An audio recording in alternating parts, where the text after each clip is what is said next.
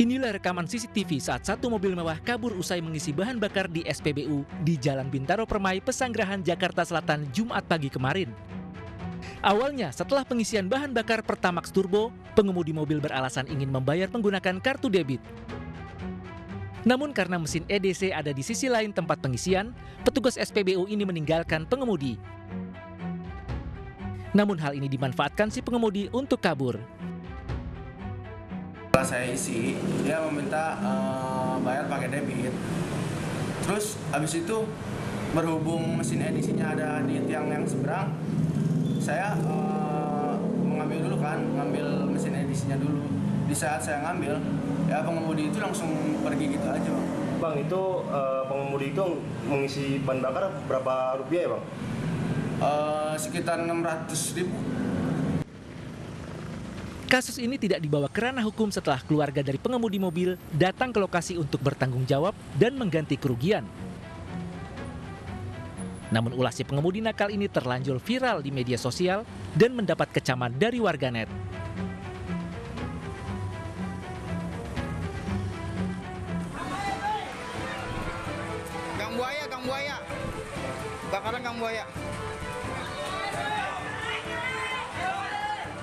Kebakaran melanda permukiman padat di Jalan Karet Pasar Baru 1, Bendungan Hilir, Jakarta Pusat. Kobaran api yang terus membesar membuat warga panik. Sebelum petugas damkar tiba, warga bahu-membahu berupaya memadamkan api. Banyaknya material bangunan yang mudah terbakar tak mampu membendung amarah si jago merah. Api yang terus membesar menghanguskan 10 bangunan rumah dan kios. Api diketahui pertama kali muncul dari sebuah kios penjual bakso yang tutup sejak dua pekan dampak PPKM. Belum diketahui penyebab kebakaran tersebut.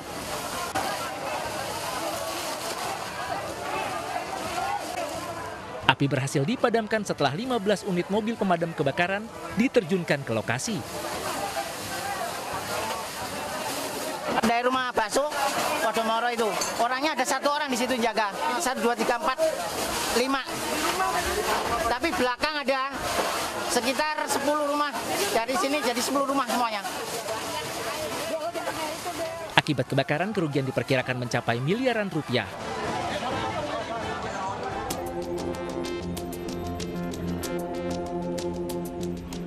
Antrean panjang warga terjadi di Gorawamangun, Pulau Gadung, Jakarta Timur.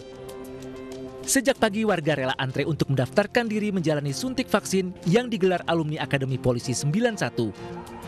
Masyarakat antusias untuk mendapatkan vaksin demi menekan penyebaran COVID-19. Namun sebagian warga mengabaikan jaga jarak saat menanti giliran divaksin. Meski menunggu lebih dari satu jam, warga rela menanti untuk mendapatkan vaksin gratis. harapannya ya bagus lah buat kita supaya jangan kayak gini lagi maksudnya mencarikan kuncinya supaya kita jangan ada corona corona lagi Usai vaksinasi, warga mendapatkan sembako untuk dibawa pulang ke rumahnya masing-masing.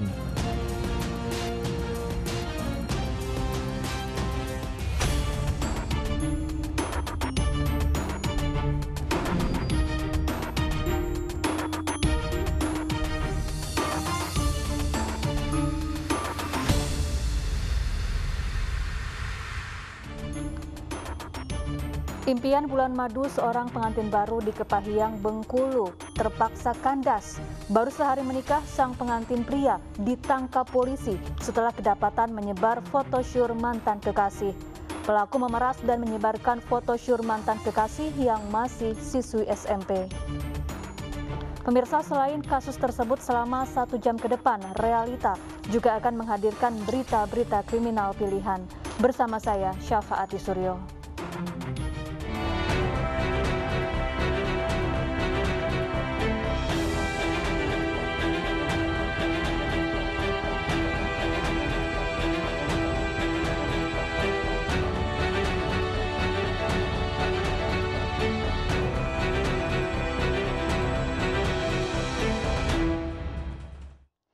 Pemirsa, kita awali realita dari Rembang, Jawa Tengah. Warga perumahan Sumber Mukti Indah digegerkan dengan teror pakaian dalam wanita yang dipasang orang tak dikenal yang disebar ke berbagai lokasi.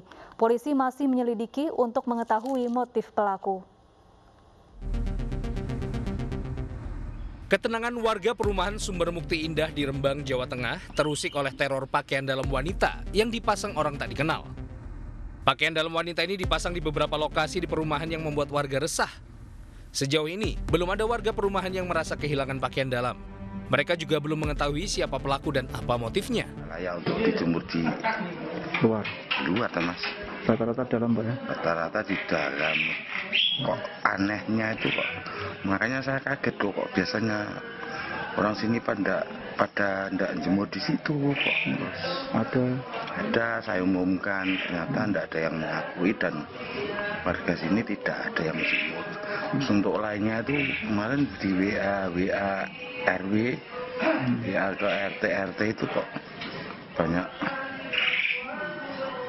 Kejadian serupa, yang kejadian sama. serupa. Polisi yang menerima informasi langsung mendatangi lokasi sekaligus mengorek keterangan dari warga. Polisi juga mendalami dugaan aksi teror pakaian dalam ini dilakukan untuk tujuan ritual mistis tertentu. Baru satu hari menikah, seorang pria di Kepahiang Bengkulu terpaksa dijebloskan ke penjara karena memeras dan menyebarkan foto syur mantan kekasihnya di media sosial. Ironisnya korban yang masih duduk di bangku SMP dipaksa untuk menyerahkan uang hingga pulsa. RW. Warga desa Tebat Pulau Kepahiang Bengkulu ini diciduk polisi di rumah istri yang baru sehari dinikahinya. Pemuda 21 tahun ini ditangkap lantaran memeras dan menyebarkan foto syur mantan kekasihnya yang juga siswi SMP. Korban yang malu foto tanpa busananya tersebar kemudian melaporkan RW ke polisi. Dari hasil pemeriksaan, pelaku diketahui menjalin hubungan dengan korban setelah berkenalan di media sosial. Namun korban dengan pelaku hanya berkomunikasi di dunia maya dan tidak pernah bertemu sekalipun. Saat bercengkrama melalui panggilan video, pelaku merayu korban agar mau memperlihatkan bagian tubuhnya dan jika korban menolak, pelaku mengancam akan memutuskan hubungan cintanya. Setelah berhasil memperdaya korban yang memperlihatkan bagian tubuhnya, pelaku lalu mengancam akan menyebarkan tangkapan layar syur tersebut ke media sosial jika korban tidak menyerahkan uang dan membelikannya pulsa.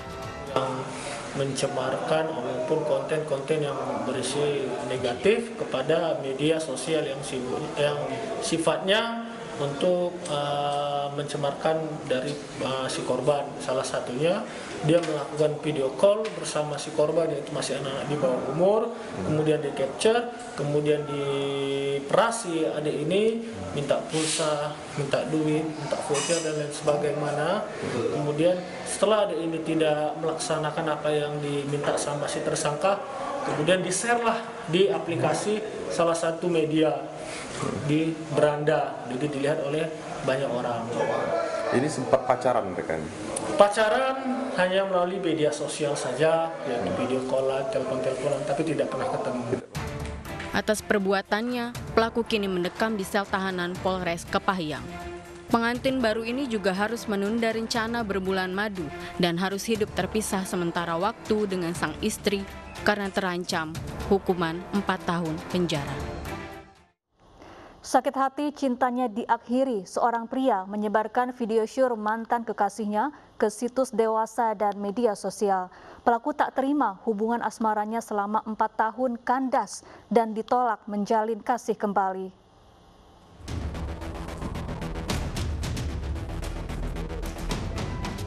Pria asal Gresik ini akan menjalani kehidupan di balik jeruji. BHS berurusan dengan polisi akibat ulahnya menyebarkan video sur mantan kekasihnya. Pelaku dibekuk anggota Satreskrim Polresta Sidoarjo di tempat tinggalnya. Sakit hati tak terima cintanya diputus wanita idamannya. BHS menyebarkan video sur mantan kekasih di media sosial dan situs dewasa. Pelaku dan korban pernah menjalin hubungan asmara selama empat tahun. Selama berpacaran, pelaku selalu merekam aktivitas mereka. Usai asmara kandas dan ditolak menjalin kasih kembali, pelaku berulah. Korban yang malu dan dirugikan karena penyebaran video sur mereka lapor ke polisi. Selama mereka berpacaran ini, mereka sering melakukan foto ataupun juga merekam kegiatan-kegiatan pribadi mereka. Nah, nah, ini yang kemudian setelah putus dijadikan oleh saudara BHS ini pelaku untuk menyebarkan kepada lewat WA kepada rekan-rekan daripada korban yaitu saudara saudari LDK tadi. Nah, itu disebarkan. Selain itu juga disebarkan melalui situs web dewasa. Pelaku yang tak lagi bisa merekam harus mempertanggungjawabkan perbuatannya dan dijerat Undang-Undang ITE dengan ancaman hukuman 6 tahun penjara. Di Mataram, Nusa Tenggara Barat, seorang pria peras mantan bosnya dengan mengancam menyebarkan foto dan video asusila. Pelaku sakit hati lantaran dipecat dari tempatnya bekerja tanpa sebab yang jelas.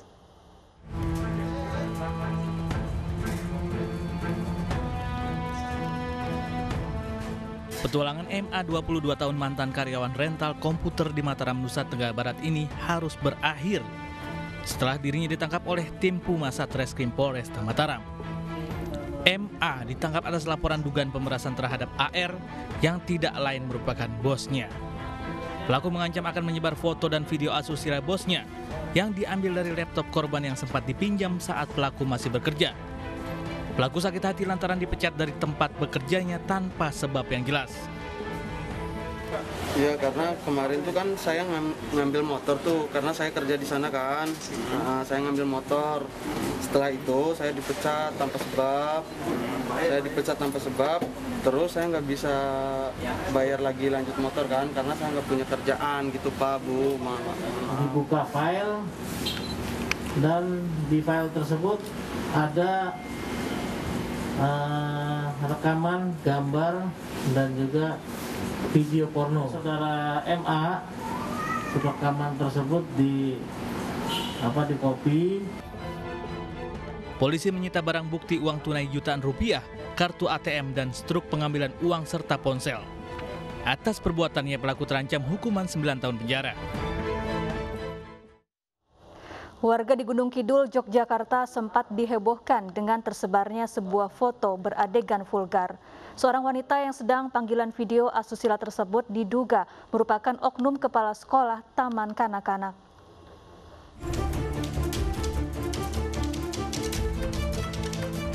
Seorang kepala sekolah Taman Kanak-Kanak berinisial YF di Gunung Kidul, Yogyakarta menjadi korban kejahatan teman kencannya.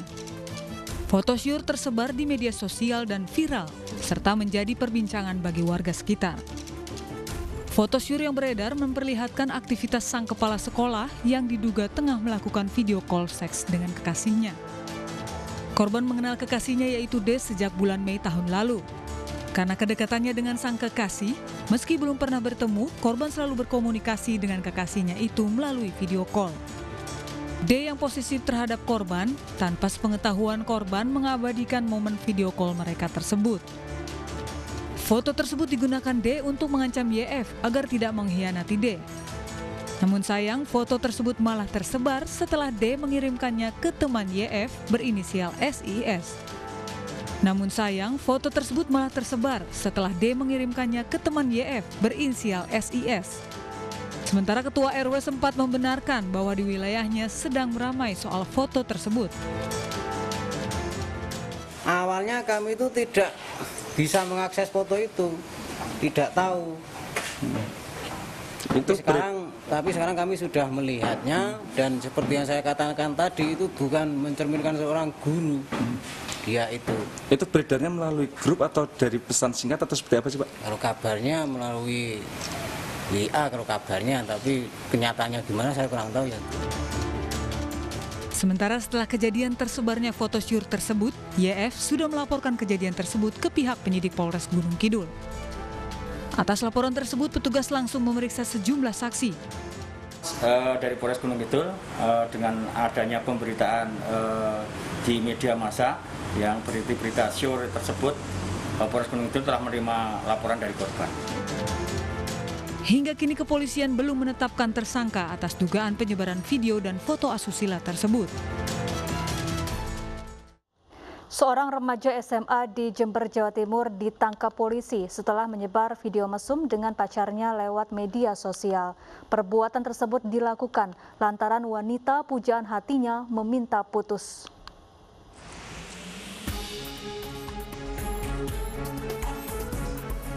Seorang remaja yang masih duduk di bangku SMA di Jember harus berurusan dengan kepolisian Polsek Sumber Baru karena telah menyebarkan video asusila dirinya dengan kekasihnya. Pelaku ditangkap di rumahnya tanpa perlawanan. Pelaku tega menyebarkan video asusila tersebut karena sang kekasih meminta putus darinya. Akibat aksi nekat pelaku, korban yang juga kekasih pelaku kemudian lapor polisi. Di hadapan penyidik, pelaku mengakui semua kesalahannya karena memang tidak ingin berpisah dengan kekasihnya. Keduanya sama-sama pelajar dan sama-sama masih duduk di bangku kelas 1 SMK. Uh, kita jerat dengan pasal 81 ayat 1 dan pasal 82 Undang-Undang nomor 35 tahun 2014 tentang perlindungan anak dengan ancaman hukuman minimal 5 tahun dan maksimal 15 tahun penjara. Atas ulahnya, pelaku akan dijerat dengan Undang-Undang tentang Perlindungan Anak dengan ancaman hukuman minimal 5 tahun dan maksimal 15 tahun penjara. Seorang montir di Padang, Sumatera Barat dilaporkan istrinya ke polisi karena menganiaya dan mencabuli anak tirinya yang masih berusia 13 tahun. Selengkapnya sesaat lagi dalam realita.